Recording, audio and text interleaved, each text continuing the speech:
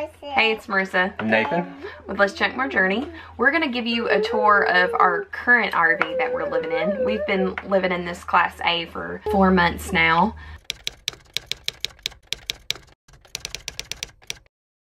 This huge window is so nice. You get a great view going down the road and then when you park somewhere with a great view as well. Tons of storage up here. This is where we keep Hensley's diaper bag. The thing about living in a small space is everything has its place.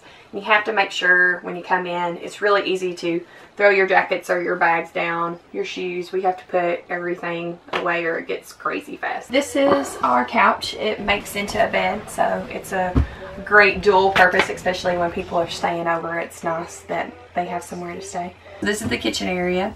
Um, con, obviously we have to do our dishes now. No dishwasher.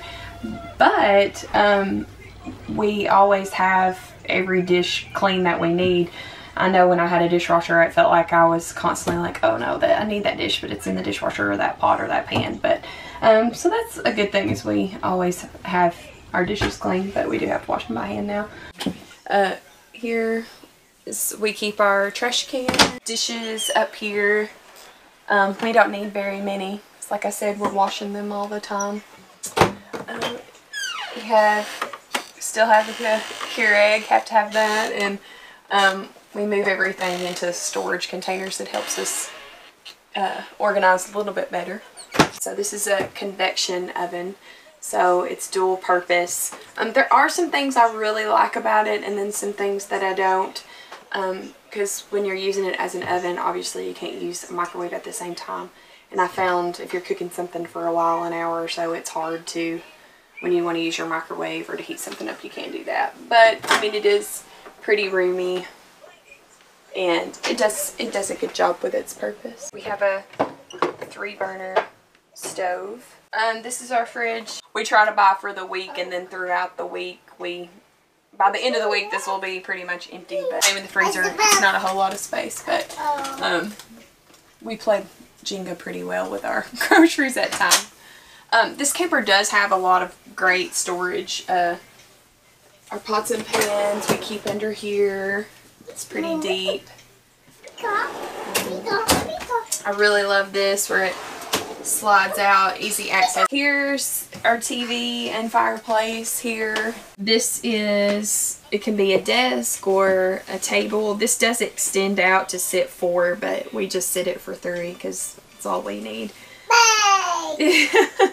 we tried to work this video around, but it was, it was snack time. This is the laundry room slash Hensley's closet. Um, so this is our all-in-one washer dryer combo. I love this. Didn't know they made such a thing. No more moving stuff back and forth from washer to dryer.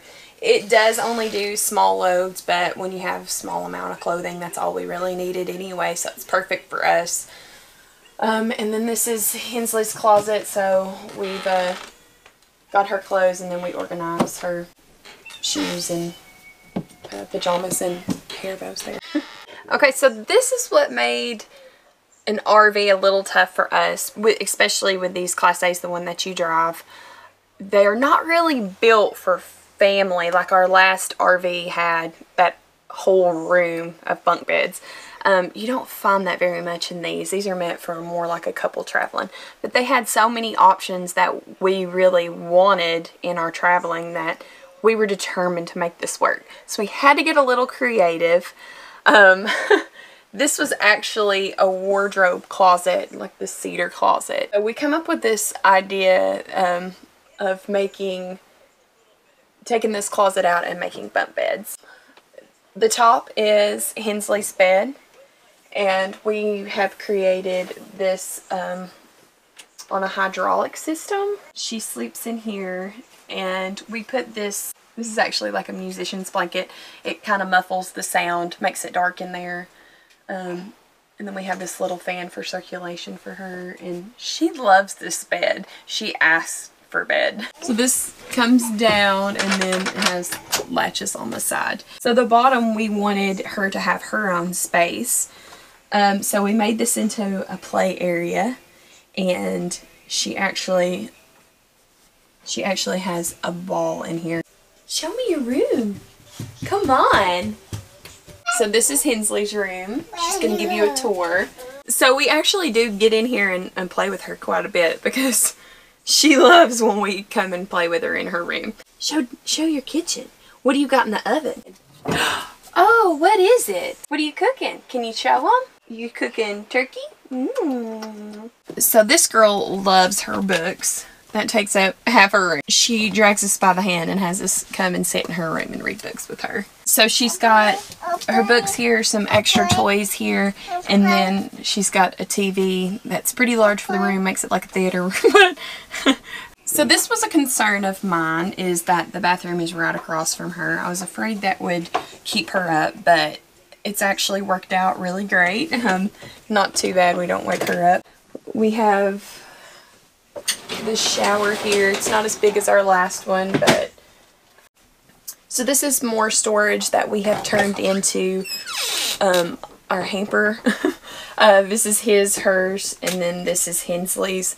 And then we keep her diapers and wipes and some extra towels and beach towels down there. We don't have a bath and I worried about that with a little one because they love bath time. So we found this collapsible tub and just sit it down in there and fill it up and she uh, gets to splash around in there.